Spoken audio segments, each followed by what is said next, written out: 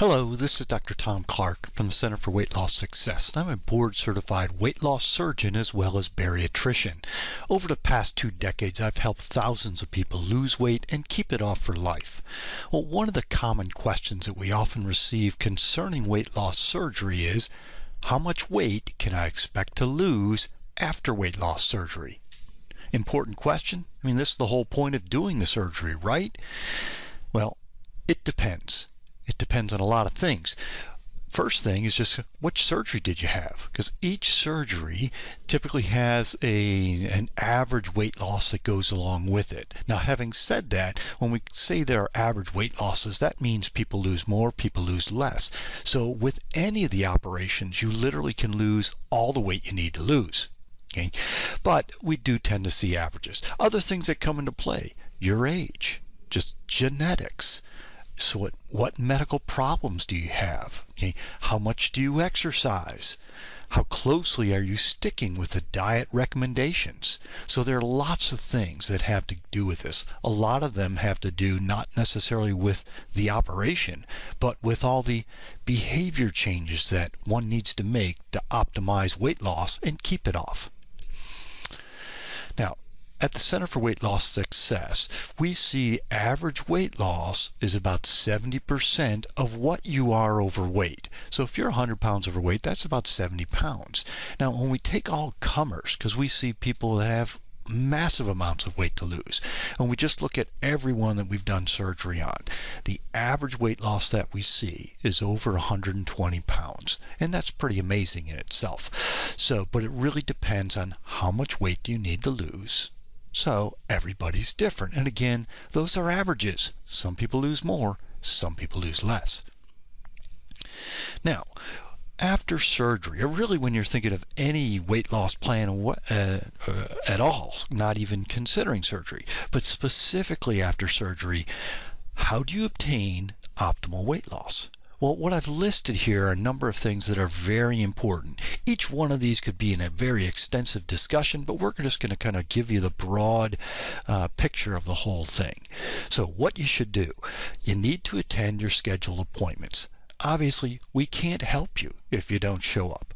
Go to support group. Support group's very important to get discussions about how to improve as well as obviously get the support from the surrounding people as well as the the leaders there at the support group. Follow your diet. This is probably one of the most important things because dietary changes are huge after weight loss surgery. With the weight loss surgery by itself, yes, you'll lose weight, but you've got to make the dietary modifications. You have to eat correctly. The best diet plans really are uh, eating things that have no labels on it. I always tell people that the core of the eating plan, and this is whether you have surgery or don't have surgery, the core of your eating plan should be hydration, water's best, good protein sources, which from food, the best ones are meat, seafood, cheese, and egg, and then colorful vegetable salad stuff. That is the core of the eating plan. Falls outside the core, try to keep it to a minimum because it's probably not going to help you. Next, you need to monitor your weight. And the best way to do this is stepping on the scale. And I encourage people to monitor their body composition because it's very important to keep an eye on your lean body mass. Your lean body mass drives your overall metabolism. And so the more lean body mass you have, the better off you are. Now, there are special scales that are required to check body composition. And many uh, physicians' office have these, but I encourage people to check this. This is a very important part. You want to make sure you're losing fat, not losing the lean body mass, and you should keep an eye on this forever. Incorporate fitness. Fitness obviously a big part of a weight loss plan. Not so much that it makes you lose weight faster, but because it helps you preserve that lean body mass, keeps your metabolism higher take your vitamins. I encourage everyone ought to take vitamins. And that doesn't matter whether you had surgery or didn't have surgery, but it's something that's very important, very healthy for you. It'll only help you.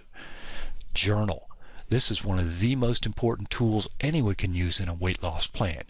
It's hard to know where we're going wrong unless we actually write it down we sometimes have good ideas, suspicions. We have, uh, we think we may know what's going on, but if you don't write it down, we'll never know where it really is. And that's how we can begin change. First, you have to know what you're doing. And then surround yourself with positive people. When you're around positive people, we tend to become more positive ourselves. And it's much easier to stay on track, continue with that weight loss, if you're staying around those positive people, those helpful people.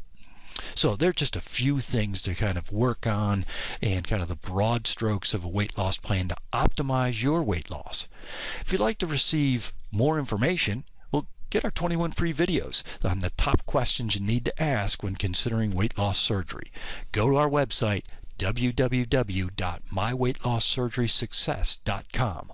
Or if you want more information from the Center for Weight Loss Success, go to our corporate website, www.cfwls.com. You have a good day. We'll see you on the next video. Take care.